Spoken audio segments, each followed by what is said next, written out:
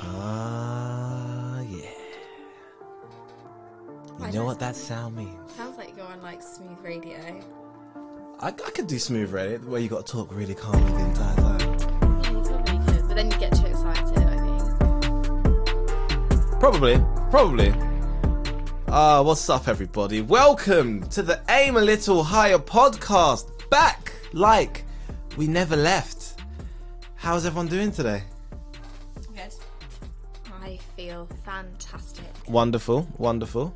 Better than me. Why, how do you feel? Ah, just a bit of an emotional morning, wasn't it? Oh, you're so dramatic. I think it was so cute. really not and I'm actually deep. really sad that you didn't take any pictures, but That's the last, the last thing I wanted to do was take a photograph. I wish I was there for that moment. So do I. So do I. I can't wait but to me. see her later. Anybody but me would have been great. For the listeners, um, dropped my daughter off to school this morning, and she got given a big, fat, massive pink bag with a gift and card inside it, which is just From who? from one of her friends. From her boyfriend. From one of her friends at school. They've they've literally been going out for a whole two years.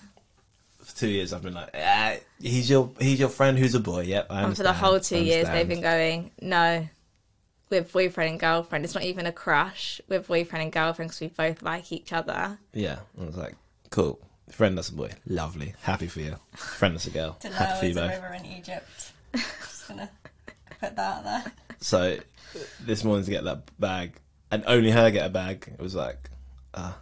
And in the line, no one else got anything. I think one lad brought flowers in for, I don't know who it was for, but one lad had flowers in his hand. And that's, that's it. No one else had anything. So Well, no, mm, friend that will not be named is setting the standard. Yeah, setting the bar high. And then what did our daughter do? Go and tell her other Yeah, boy yeah, yeah. mate, look what Noah got me. yeah, true, true. Yeah, I, I, I don't like it. I don't like it, but I like him. And that's the real issue I'm having. Yeah, why why do you really like him as well? When the last time you went over, So I like this kid, right? The first first few instances she had like a little issue. He was in there pushing people over for her. That's that's what I like to hear. Aside from that, generally sees me very polite. After school, we play fight every day. He's just he's just a cool cool lad. Um, went to pick her up from his house the other day, and his mum was like, "Oh, they're just in the back. Uh, he's teaching how to play chess." I'm like, I rate that. So what's the problem? exactly. not- what is the problem? That's the question. knowing. What is the problem?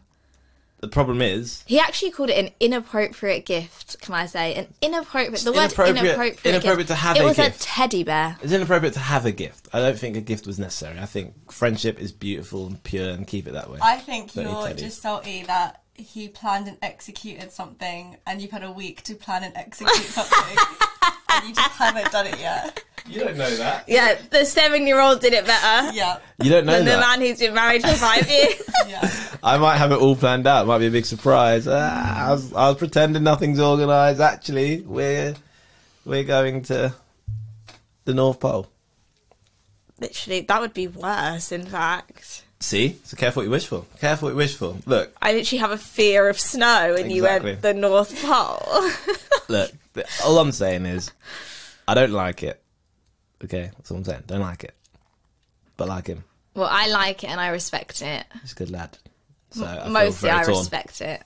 So I feel very torn emotionally. I don't like it, but he's cool. Anyway, When I did, and I did ask our daughter Estelle, I said, "Did you want to get anything for him?" And her reaction was, "No."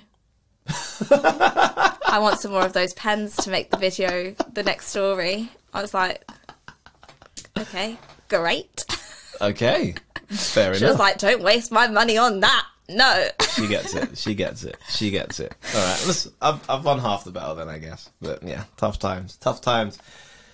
Oh, there's been a theme going round, um, both both in the, I guess the online world, but also practically as we're going around speaking and working with students of we keep having these incidents happen. So many more hand motions today. Sorry, Kamal's got rid of his laptop and like the hand motions are out. It's just you don't know what to don't- with yourself. I actually don't. I'm normally sat on the laptop, and yeah, this is weird. Um, but yeah, this, this idea of personal responsibility has been coming up a lot from staff, from teachers needing to help their young people with more personal responsibility. Different incidents you're seeing online that are going on where you know there's there's incidents and they're blaming each other, and it's like no one's taking responsibility for themselves; it's the other person, etc. And it got us to having a bit of a talk, a bit of a debate ourselves of actually what is personal responsibility? Where's the line of personal responsibility? And where's the power if you give away personal responsibility? So yeah, we start simple. We'll start basics with with back in the day. Did you ever do the thing where you decided this subject is not for you based solely on the teacher and that the teacher can't connect with you in the right way or the I don't like the way this teacher teaches, so this subject's never going to be for me. Did you ever fall into that that trap of putting all the responsibility on the fact that you and this teacher couldn't see eye to eye? Do you know what's really weird? All the teachers that I I didn't like, I ended up picking their subjects for A level. So I so drama, the teacher absolutely hated me, and like very explicitly as well. Chose drama, didn't I? Because I was good at it. So I was like, "You're not marking me. The examiner's marking me. We're fine." Um, history. My teacher was an absolute nutcase. Like he should have been in a, a, a home. Like he was just bipolar. Everything, every lesson was What? weird. Yeah, he'd either lose his temper or he would be like really, really happy, but there was no, never a middle ground. So you'd either get shouted at or like he'd be your best friend. Chose history, didn't I? Um, and what was my last subject? I can't remember now. I did history, English, although my English teachers actually did like me. Um, but yeah, I think they were the the only subject that the teachers didn't like me that I didn't pick was PE. And but they, it made complete complete sense that they didn't like me. Yeah, I was. I literally hid in a cupboard regularly to miss lessons. I Yeah, I pretended would that I was ill. I sat well whilst fielding. Like I was an absolute nightmare in PE. I was the worst child there probably. Oh, so you would have frustrated me so much. for me to do A level would have been a crime against them. Agreed. Agreed. So they would have been like, please get out. and a crime against your teammates.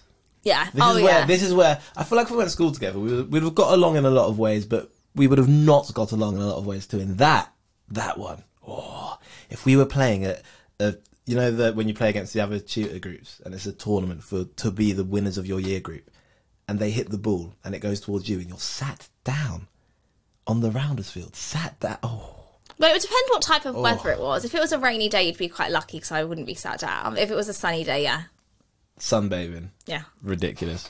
That's ridiculous. Fair. So you had an issue with these teachers, yeah, yet chose the subjects. yeah. It's very weird. is that because actually you had the issue with the teacher because of their teaching style, but the teaching style actually worked for you and you got really good at those subjects? No, I was just quite good at those subjects naturally. History is about remembering facts and writing an opinion on it. Always been opinionated, so great. and drama, I was always quite good at. Coming from a family of performers, so Mm. I wasn't going to jeopardize what I was good at to do something that I'm not good at based on the fact that we don't get along. Mm. It was just silly, but yeah, very randomly, I just picked those subjects, and all of the teachers disliked me. Fair enough. Fine. Fair enough. What you, Storm? I think the only teacher I didn't like was my biology teacher. Did you let that affect your biology lessons, biology grade, biology experience? Not really, because it was kind of a compulsory subject. So it was like, I, I have to do it. But she was weird. Like, I remember um, there was this one girl that she didn't like because she was pretty. And that was literally her reason. And our first ever biology lesson, we all walk in, and she looks at this girl and she's like, I hope you know being pretty is going to get you nowhere in life. And it was just. Whoa! It was just so unprovoked. Like we had just walked in, first lesson, everyone just sat down, not even started, and she just goes, "Yeah, being pretty is going to get you nowhere in life," and that's it. And like for the rest of the year, she just picked on this girl for no Wow. reason, and yeah, she was just like that. So that was fun for us. Fantastic. Now she's doing Paris Fashion Week, like Fair enough. So, you, so you never, neither of you ever fell into that trap of going, me and this teacher don't get along. This subject's not for me. I'm gonna just part this subject away because of the teacher, if that makes sense. Because that's what's seen a lot of.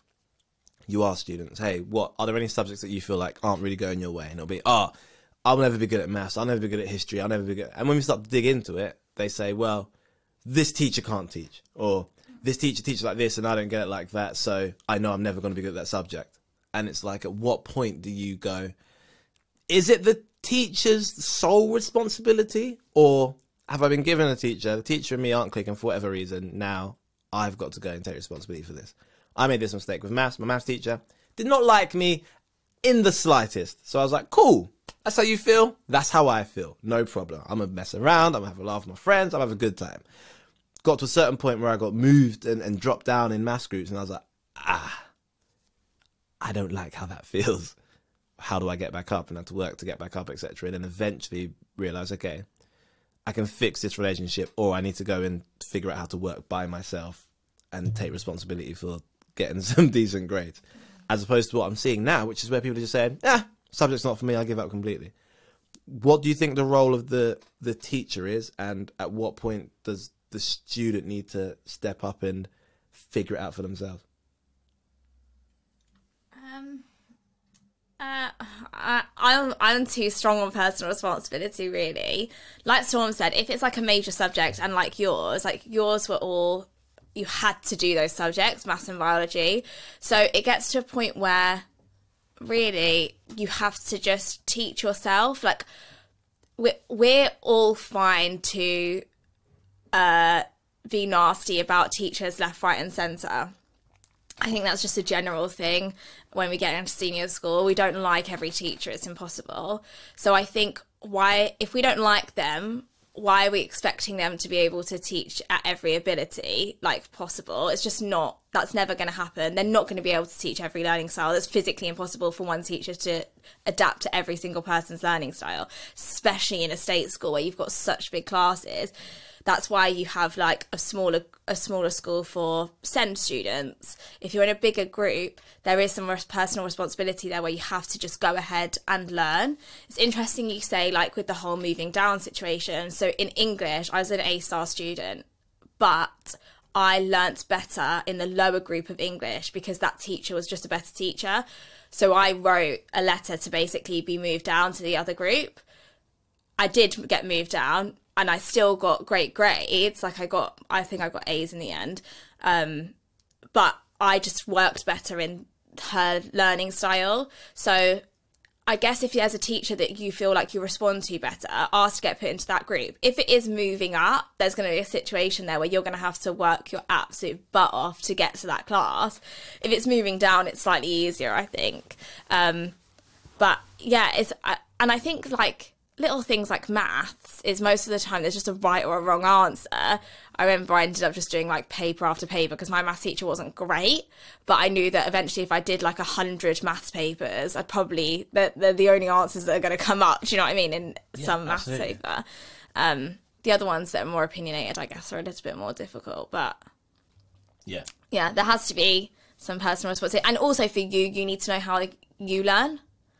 So like when you go to uni, you sit in a lecture for an hour, someone talking at you for an hour, and it's up to you how you digest or divulge that information. And there's no one sat down with you going through your essays and stuff. So, and when you go to work, obviously you're living the life of work. No one teaches you how to do those things. There might be some processes in place, but normally it's like, here you go, here's a bunch of stuff, off you mm. pop. Um, so you need to know how to learn that stuff, and school is the best time to experiment with that. So take it as like, oh, I'm gonna need to be independent more quickly. Yeah but great in a way. Fair. What do you think? I think liking someone and being able to work with someone is not synonymous. Like it's not the same thing. Like there's going to be mm. people that you're going to have to work with when you grow up that you don't care for or you don't like. But if you're relying on liking someone to be able to function with someone, then you're already kind of messing up because it's just not going to happen. You're not going to like mm. everyone, and everyone's not going to like you. And I think people need to remember teachers aren't there to be like they're not there to be your friends.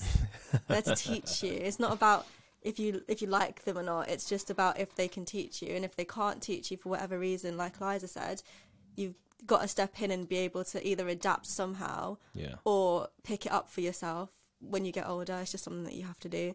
So i think the first step is to be realistic about the fact that all teachers don't like you. First of all, they might not tell you that, but they, a lot of teachers won't like you, and they still have to they still have to teach you.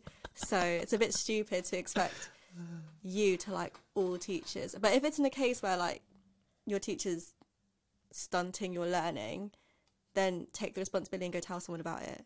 Mm. Ask to be moved, report it. Do do the steps. You can't Yeah. just say like, I don't like this teacher. I'm not going to go to lesson, or I'm not going to try because you're just ruining it for yourself. It, it doesn't affect the teacher. this is the thing with the personal responsibility aspect. It's it's like okay, well, this person's being paid to do this role that they've trained for, so they they're going to have some level of of knowledge in the subject that they're teaching you.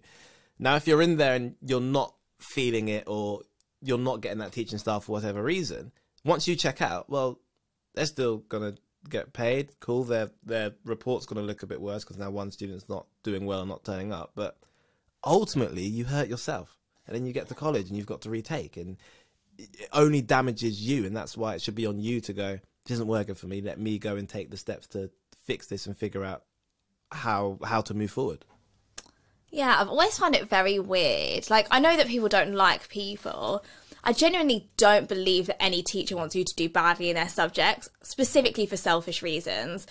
Education as a whole is like so based on results, which is quite odd actually. You don't really think about it, but it's almost like sales targets. Like, you need your students to do well, not only for that school's marketing, so it gets the better students, but also for you, how you're graded as a teacher, whether you're the problem that Ofsted is going into special measures, whatever it is. So they want to see those reports. Normally, they hear back from a few students as well. So normally, just based on for their own selfish reasons, they want you to do well. If you think about like where that teacher might want to go if they want to go and get a new job, they have to show statistically, well, the students started off here and I got them to here, just like when you're growing a business, when you're making sales, they don't benefit from you failing. So I don't think any teacher goes out of their way to make you fail, not because of you, because of their own selfish needs. So they might not like you and you might not get along, but they probably want you to do well.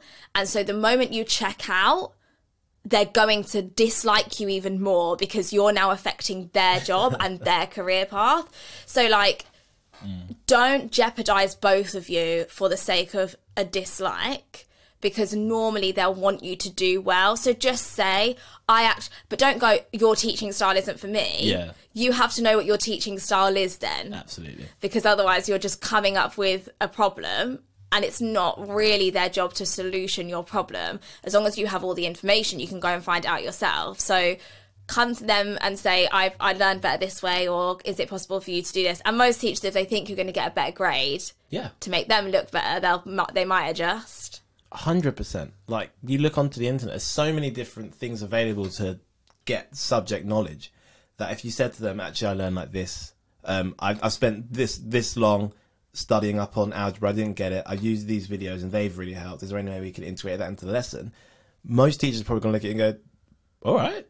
Like if it's worked for you, there's probably four other students they think instantly it could probably work for them too. So yeah, I completely completely agree. Get to step to them with solutions and with ideas of how to move forwards rather than just ah it's not for me and i remember coming home to my dad and being like yo this maths teacher does not like me he's picking on me constantly he's always on my case and he said all right when she stops picking on you let me know i'm going to come down to the school I was like, I think you're confused. This teacher is picking on me now. Come down to the school and fix it. Like, sort it out. Go and talk to the school. My dad was like, You're not getting it. If she's picking on you, that means she sees something in you that you're not achieving yet. So she's trying to get you there. The second she stops picking on you means she's given up on you. She doesn't care anymore. And that's when I'll go down to school because that's concerning. But if you're coming back to me saying you've been picked on, you've been picked on, I'm glad. I'm glad to hear that she's seeing and she's trying to push you forward. And I think even that conversation shifted my whole mindset around when a teacher's picking on me more than other people or when I feel like this teacher's on my case. They're actually probably trying to get me towards a result that will benefit me in the long term. Yeah, plus, I'd say if you really dislike a teacher and you want to spend the least amount of time with them, succeeding is the way to do it. Because if you're failing, you're going to have to do less, more lessons, more revision, see the teacher more, talk to them more, have the interaction. And if you don't want to do that, why would you then fail on purpose? Mm. Because there were so many things that I didn't like about maths, for example. It wasn't my teacher, but just maths. Mm. And I didn't want to have to retake it. So the option was to not fail it. And Fair. that's what I did to not do that. But I'd also say that a lot of people say they dislike teachers. And what they mean is, I don't like that that teacher doesn't let me get away with what I want to get away with. It's not that you don't like the teacher, it's like you don't like the fact that she's telling you to stop talking or not sitting with your mates or making you turn up to lessons or giving you detention because you didn't do your homework. Mm. So it's more like I don't like the fact that I've got consequences for my actions Yes. rather than I don't like the teacher. Yes. And isn't that the whole issue we have around personal responsibility? That when you take a certain action, it's going to cause a certain consequence. And you might like or dislike that consequence, but you've got to stop and go, did my action contribute towards this consequence that I'm now experiencing and, and I don't like? And that's that's a scary direction I'm seeing that I feel like we're going where we're getting concerned with with the actions of others and we're not pausing to go, well, hold on, what have I done to contribute to this situation? And getting rid of all personal responsibility. And once we start, you know, it's their fault, it's their fault, it's their fault. You take you lose all power because now you've given it away to everybody else. And this goes way beyond school. This is just in your general life as a person, especially in the adult world. That actually you've got to understand that everything you do has an equal and opposite reaction. And if you don't like the reaction, maybe you should assess what your action was initially. Yeah, I think that's where like the power it's so interesting. People talk about power all the time, like where where is the power? And even in that conversation that we just had before we started, like the whole jealousy thing, where does that power stay? Hmm. So I was saying when I was on the pill, I was an absolute psychopath, but the power was definitely not with me. I felt like I didn't have power, so I was fighting for power. Hmm. Whereas now, I got asked recently, like, "Oh, are you a jealous person? What would happen if like a girl came up to Kamal?" And I was like, generally, like, I, I'm actually not that bothered. Yeah. And normally because I know how amazing I am. um, but that's that to me is way more powerful. I, I don't feel like any stress. I don't feel like any negative emotions. But it takes away the power from Kamal. I think before I felt like Kamal had the power because his actions would depend therefore on my emotions. So whatever he did depended on how I behaved and how I reacted. So if I got angry, I was able to blame it on Kamal, but equally he was then able to do whatever he wanted to do to control my emotions. That's how I felt. Um, not because he'd taken the power away from me, I'd given him that by saying I have no personal responsibility. Whereas now I'm like, oh no, I'm pretty great. Whatever he does, I know that I I did the right thing and I'm better. So as long as I can sit with the fact that I'm better, it doesn't really matter, and therefore I have the power because Kamal can do whatever he wants, but I have the personal responsibility to be like, oh, I'm just a better person than you then, basically, and that means more to me, in all honesty. And that's how you what shifted the idea of of being a, a jealous partner, a jealous person kind of thing. Yeah, I think I'd always had like personal responsibility in most areas of my life, like education, school, work, like normal personal responsibility. I guess in relationships, just had a baby, and I was a bit like, oh, I feel like I just want, I want to trap everyone in this like confined space, so I know what everyone is doing at all times of the day, because then I'll feel happy obviously you never feel happy and you can't trap anyone in a house. It's called kidnapping or i'd probably get arrested. Um, so everyone goes and lives their life but because you your life has drastically changed and you don't know what's going on and you can't live the same life because your body's changed you've got a kid there you can't go out whenever you want that sort of like male interaction you don't really see it because you're with a baby and you only go out during the day. So when Kamal was going to events in the evening and stuff, I was like, who was that? I remember one event you went to and there was like a woman talking, oh. just a normal woman talking. And I was like, who is that woman? And he was late from the event and I just like questioned him. But there was nothing that he could say that would make me feel any better because Yeah. I'm all, because I didn't have any control over your actions 'cause I can't.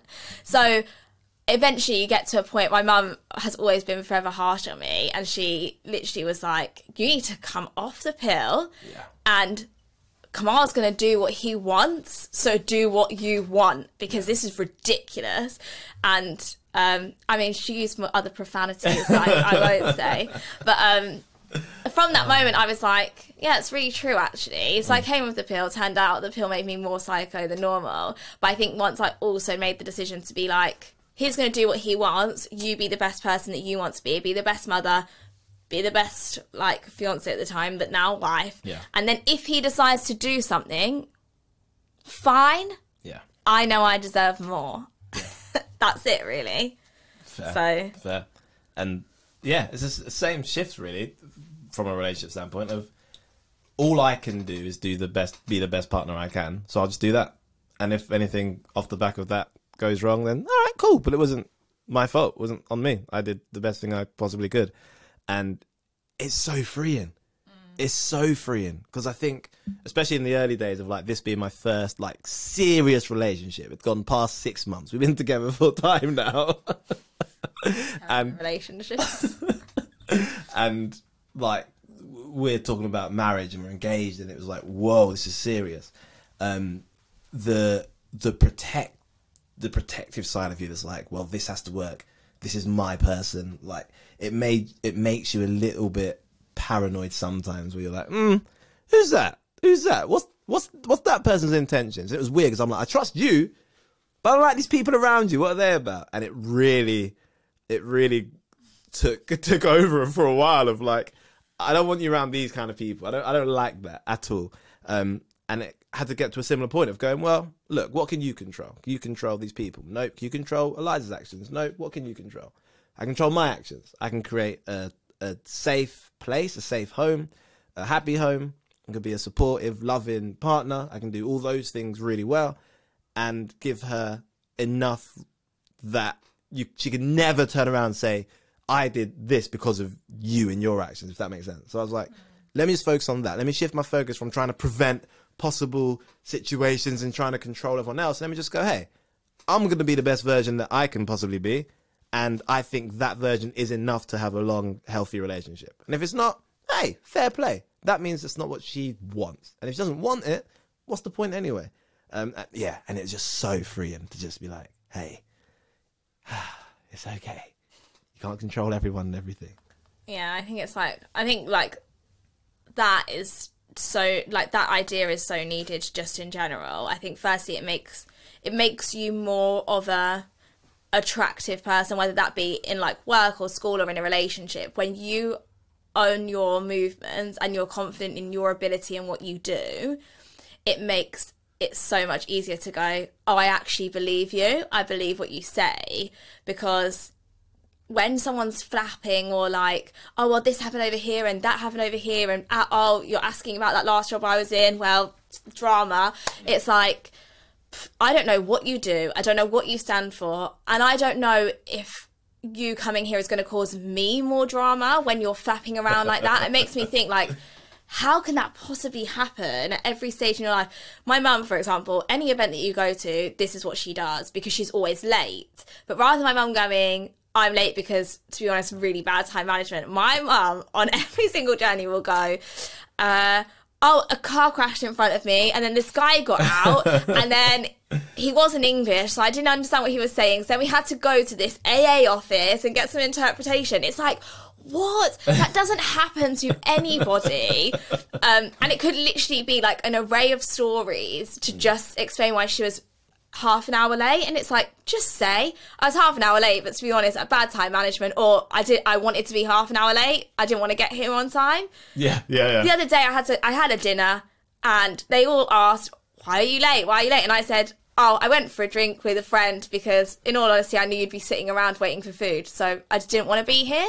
Rather than being like oh well something so stressful happened everywhere. Like just take some personal responsibility and go I made a choice Yeah. to not hang out with you for half an hour Yeah. and hang out with somebody else because I preferred their company for half an hour. Like it's fine. Yeah. That's life. and actually, people will be like, oh. well, I was a bit taken back because you're being so honest, but they'll respect it a lot more. Yeah, absolutely, absolutely. Um, and I guess moving out into the wider world, you've got the relationship angle, you've got the work angle as well, where personal responsibility is absolutely key.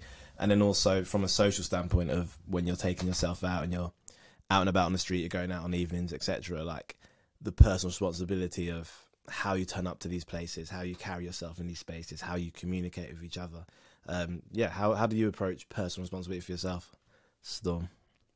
When I go out, when when you're out in the real world, I guess, like when you're going out, when you're thinking about your professional life, where where is the line between your responsibility and and what everyone else needs to be doing? I think I just understand that I'm responsible for me and I'm not afraid of consequences for the actions that I chose to do. Mm. So I think it's more like I don't have to consciously be like, I'm going to take responsibility. It's just more like I decided to do it or I decided not to do it and I executed it. So Yeah. now what follows, that was my choice. I made the conscious decision. So I'm not really scared of consequence. So I don't really, I don't really have to think about it. I Got just you.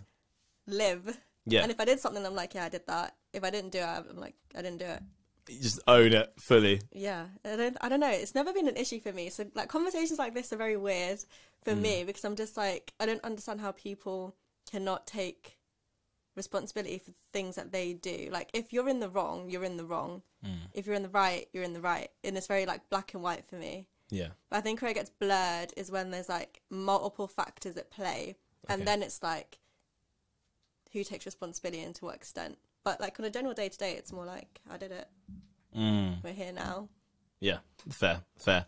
So I remember there was a, and, and I never took the time to really go into it because it just seemed like drama. But all I remember on on this story that popped up online was this person went onto a podcast, arrived there early, they served loads of drinks, she drank loads with them, and then it turned into like this argument later on on the actual show. And then after this argument, she went online and said, "This person um, gets all their guests drunk and takes advantage of them," and, and it sort of blew up into this bigger thing. And it was really interesting from an outside looking in, going, "Hold on, you've you've given this explanation, but for the first sixty seconds of this video, you just told me how much you drank. Like, hey man, I had the whiskey, then I had this, and I had this, and like she was listing all the different alcohols, and I was like, hold on, you went to a, a I feel like a professional place. It's a podcast, mm. and they offered drinks, and you took it, and not mm-hmm. just one. You took, and you had like seven or eight, and then it blew up into this big argument. And at that point, when you're that inebriated, you're you're not going to be having a reasonable arguments. Everything's going to be times ten, times twenty. So it was Yeah. really interesting to hear her put the responsibility over there, and then they in return were like, "Well, no, it's you. You came and did it," and it was like, actually, where does the responsibility lie there? Surely she should own it, and then if they did anything, they should own it. But it felt like it was just a purely your fault, your fault, your fault. Yeah, I think in that conversation, it wasn't that conversation wasn't had to come to a conclusion or to come to a, like a solution. That conversation was had just to argue. So both parties mm. went to it not looking to have any sort of like mean, meaningful conversation. They, Yeah. they went into it just to argue because you know views and clout. but I think with with that situation, she did say like. No one forced me to drink. That was my choice. So, in Yeah. all fairness, she did say like I I did that. That's on me. But I think what she was trying to say was, you knew I was intoxicated, but you still tried to do this even Right. after I said no. I think that was her argument. But then his argument was, that didn't happen. Full stop. Yeah, he was like, I didn't do that. Or I think it was something more of the lines of like, this. It was like a blurred circumstance, basically. Of course, because there's alcohol involved, so no one can actually remember accurately. Yeah, and I think the hosts do drink as well, so it's not as if like we're like we're sober Yeah. and we're just gonna get you guys drunk. It was more like That's the environment I create. Yeah, like if Yeah. you watch the podcast, everyone on the podcast drinks. So if you're going on the podcast, you're expecting to drink. Like she said, no one forced you to drink that much. Mm. So you decided to drink that much. Obviously, when you drink a lot, Yeah. arguments happen. Yeah. There's conflict, whatever. Yeah. Um, I agree with what you guys said though. When when she went online and she was like screaming and shouting, it makes you look. It doesn't make you look like you can articulate yourself. It doesn't make you look like you're responsible Yeah. But I would be mad too. So I'm kind of like, I'm, I'm very like, I'm tiptoeing both sides because I can see it from her perspective. If I went out with my friends, for example, Mm-hmm. and we were drinking because you know we're adults, we can make that decision, and then something happened, of course I would be mad too. But in the same breath, I was there, and if I wasn't there, so he tried to kiss her. yeah, She said no. yeah, apparently he was like trying to kiss her. She said no. And then because she said no, he reacted quite negatively and got kind of nasty and was saying stuff about her and whatever, whatever. On the podcast live. Yeah, it, it was either on the podcast or after the podcast, but because I've got big following, it's like when you say something bad about someone online. See, that's strange because I would say that you wouldn't be annoyed. I would. I know I could probably get on here and I could say something really bad about you. Yeah. I don't think you'd care. Uh, it just depends. I think I would I would only care in that circumstance because I know you only said that because I rejected you. So it's more like now you want to be petty, so I'm going to be petty, and me being petty is getting mad at you being petty. So it's a tit for tat. But if it was like, like you said, if you got onto first, I'd be like, Eliza, what the hell? what did I do?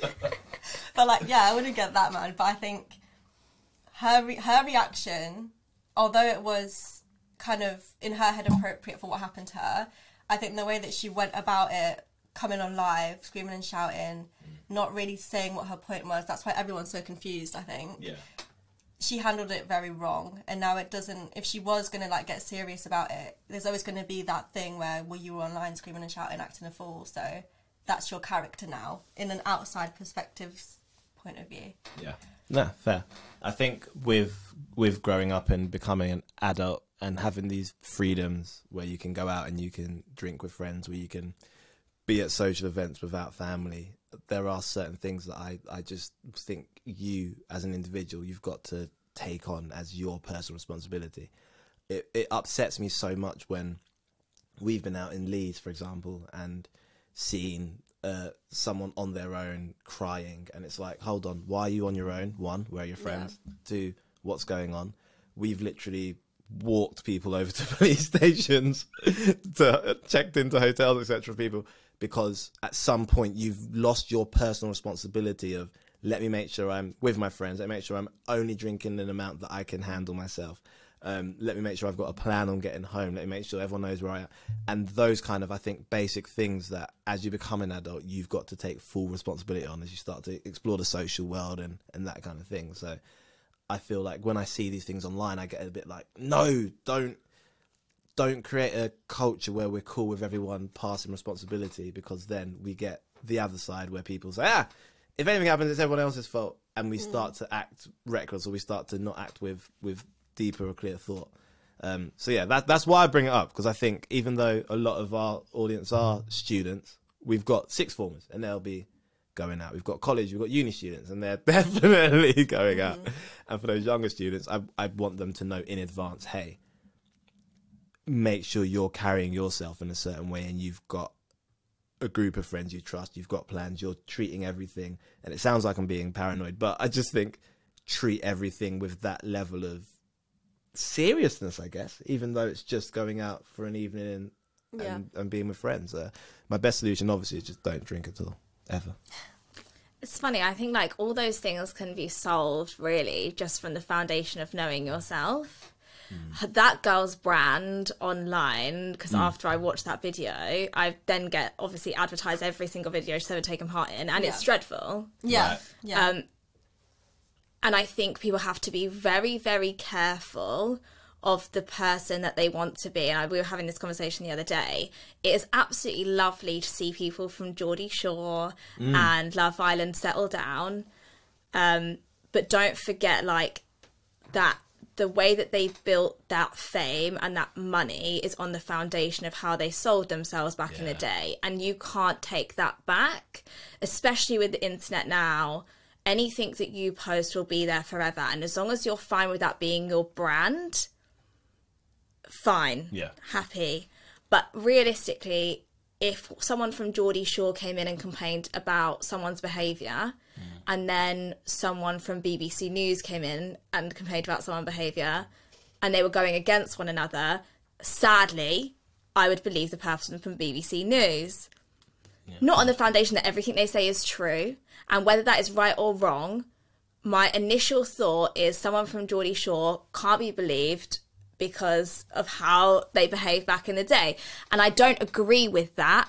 But what I do know, and having studied psychology for many years, is that person's brand and that stereotype that you fall into will remain in people's heads for the rest of time Yeah.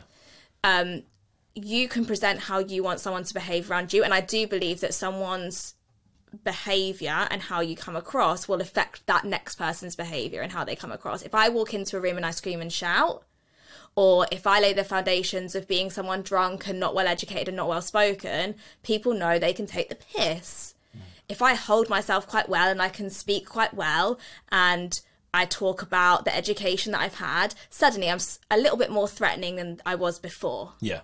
So you need to be wary of how you come across and how you want to be come across. But I think that is completely dependent on how well you know yourself. I had friends that didn't know themselves very well, and they did end up throwing up round down alleyways and getting into fights with people because when you don't know yourself. You're very easily maneuvered by the group. If the group want you to be the funny one, if the Yeah. group want you to drink the most, if the Yeah. group want you to do this, you say yes and they'll do that Mm-hmm. because people want entertainment and it's free entertainment and I can do it to you. Great, fantastic. I don't need to be the entertainment for the night. You can, and I can have a great time taking the mick out of you. And I don't have to deal with any of the consequences either because I've I've got you to do it. Right. Yeah, hundred percent. I always knew growing up that I I had work Friday, Saturday, and Sunday. So the amount that I drink was dependent on that, and so I I knew my limits quite early on. I was like, fine, I know I need to get up, and I know also, weirdly, I wanted to be. I always knew I wanted to be a mum, and I wanted to get married and have kids. So mm. I was like, cool, I'll. I want to come across to these guys that see me not as girlfriend material, not as having a great time with. I want them to see mm. me as if they could get married to me. So in most mornings, I'd wake up, I'd make them breakfast, la la la, do all of mm. that because that ticked my box of my identity. And people took the mick out of me the whole entire Oh, time. I bet everyone has but- say. They had much more respect for me than the way they spoke about other people Yeah. afterwards. And when it was just the boys and I was there, the way they spoke about those other people was horrific. Mm. Like horrific. And I was just thankful that I wasn't that Yeah. person Yeah. being spoken about like that. Not only for me, but imagine if their parents had heard or Yeah. if their older sibling had heard because then that gets spread across That's their right, the older year literal- groups and future employers that could have been mine. And I just don't want that. Mm. I don't want that branding. So um, I think it's all about like the only thing you need to do is how well do I know myself? What do I want to get out of life? And it could literally be fame. And if it's fame, go ahead, be on Geordie Shore. For me, it would have never have worked because I wanted to be married and I wanted to have kids. Slightly less attractive when you go on something like Geordie Shore, and especially not something that I would ever want my Yeah. kids to see. But that was me, and I knew that quite early. I was saying to Kamal, we were talking about our first Valentine's gifts, and I was like, from very early, I had a strong moral code. And a boy that gave me a Valentine's Day necklace had a girlfriend, year four or five, and he was like, um, oh, if you be my Valentine, I'll leave my girlfriend now. And from that moment, I was like, no, I'll take the necklace because that's a gift that you gave me. But me and you, like, I don't ever want to talk to you again because I just think it's gross that you had a girlfriend and you bought me a necklace. It's not something you're supposed to do. And I really fancied the boy actually. It was very good looking. But like my moral code just wouldn't let me move. And I was only, I was like 10, 11. But I just think it, it's not about age. It's not about getting to know the world. It's just, we all know what's right or wrong pretty early. So decide what's right or wrong for you. And it's not the same for every person. No, I, I literally decided point blank I'm not drinking alcohol till I'm 17, 18. No, 18. So I'm 18. I was like, just not doing it. Not interested. Um, I think you have the odd tipple with family where you could have odd tipple? The odd, and when I say I've never in my life heard someone say that word. what tipple, Yeah. Tipple, a tipple, It's such an heard old that. thing to say. Uh, the old tipple. No, No. Patrick tipple. See, Patrick's heard it. The old tipple. Wild. That is wild. That's wild. uh, a little drop of alcohol here and there. But I'm talking like Caribbean twist, 4% in a glass, that kind of vibe. And going out with friends, everyone was drinking, especially like on a Friday night down at the rec. You know, it starts off playing football and all fine. Field, by the way. The rec is, the rec's a big park. It's a field. Yeah, it's a big field. Um, but you go down there, some some do skateboarding, some wants to kick a ball about, and then as the evening comes, they they start to go and buy their cider and all that kind of stuff. And so, oh, come on, do you drink? No. And then it started off with, ah, he doesn't drink. Started off with like the banter you have to deal with. But you get through that little banter period, and everyone's like, cool, Kamash doesn't drink. So after a while on a Friday, they come down, cider, cider, cider, oh, Kamal, Lucozade.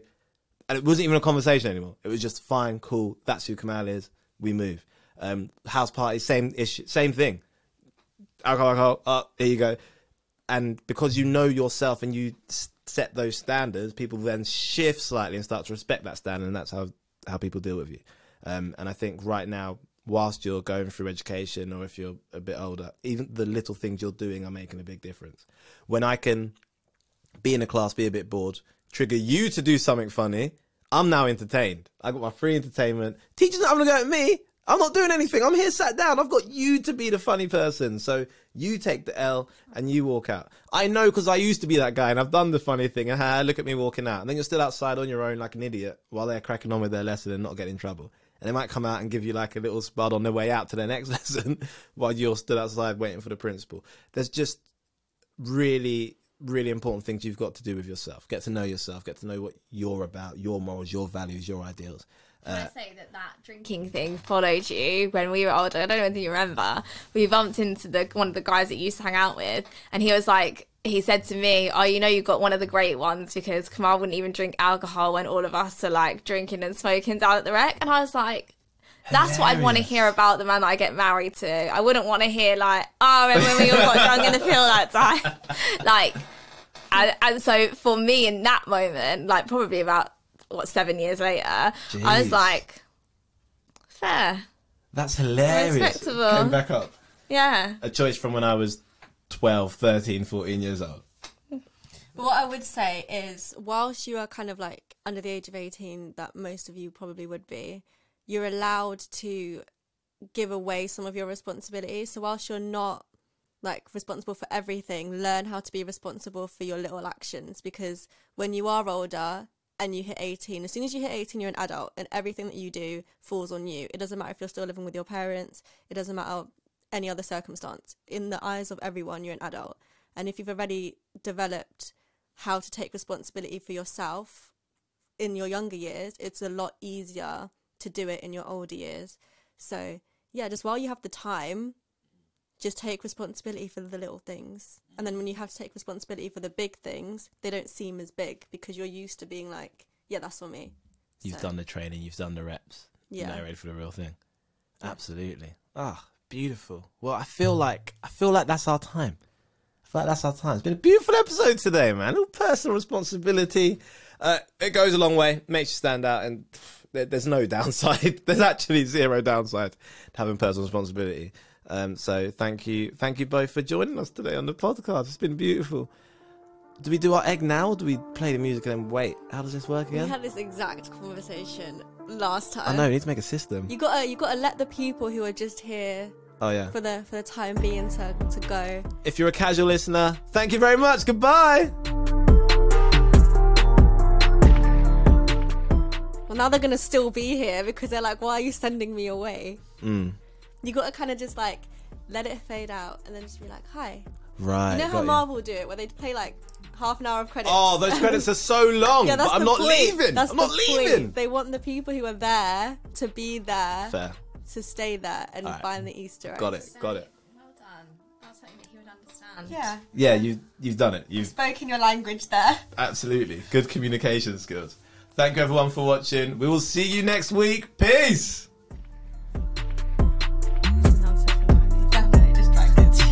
Yeah, we literally we have we, we, think we're Marvel at this time. Like was like Marvel make me wait half an hour.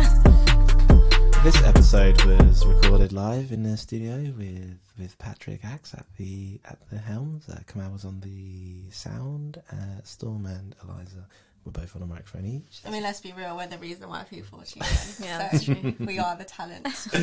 If you are still here, it's because you're a real one. You're a real one. Um, and basically, all you have to do uh, is drop us a message on Instagram or LinkedIn with the message uh, responsibility. Just say just say the word responsibility. That's it, and then um, we'll send you a free Aiming or Hire shirt in your size, direct to your home or your school, wherever you want it collected, um, and it'll be yours. First three. Ah, yes, great point. Because it was the first one gets a t-shirt, and The then the two that follow a get wristband, yeah. wristbands. The first one will get. Do you know what? You explain. We just did explain. I don't know Yeah. why you did a whole. The first, well, the first one to send the message gets a T-shirt, and then the next two will get wristbands. Come on, she's gonna be sending out T-shirts. Oh, this could have been such an expensive mistake. But for real, thanks for listening. We'll see you next week. Peace.